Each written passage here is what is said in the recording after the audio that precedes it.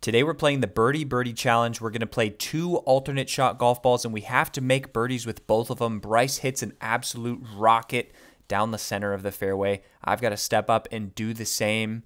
It's not as far, but it's in the middle of the fairway. That's going to work out.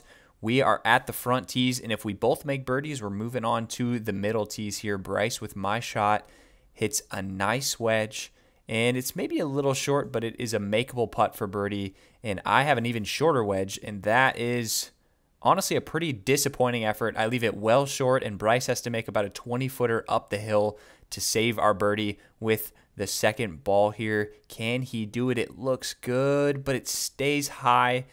We're in for a par, and we're going to see if we can make at least one of these birdies before we go on. And nope, I hit it too hard. We're in for two pars.